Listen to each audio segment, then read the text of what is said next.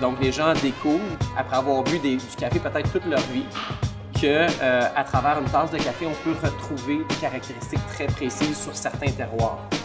Et c'est absolument ça qui est trippant dans, dans le café.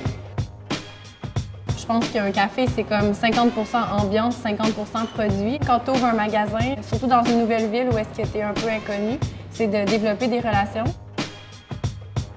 Baristas are really important. They are the, the last person to have their hands on the coffee.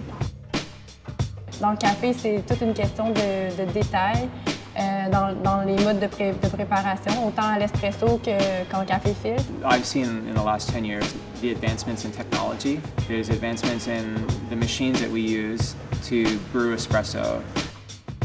There's all the different kinds of parameters within brewing and, and variables that affect the brewing process. And being able to control as all of those is what really you are as a barista. You're almost like you're creating a science experiment. La concentration de café versus l'eau. Il y a la température de l'eau d'extraction.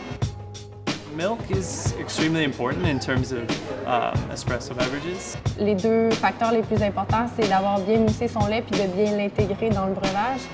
But really, the, the act of steaming milk is, is extremely important because you're cooking the milk and kind of developing the flavors within the milk. For microfoam, really, it's about density and consistency of texture throughout the entire um, beverage. C'est beaucoup plus euh, homogène tout au long du breuvage quand on a un lait qui est bien mélangé avec euh, l'espresso.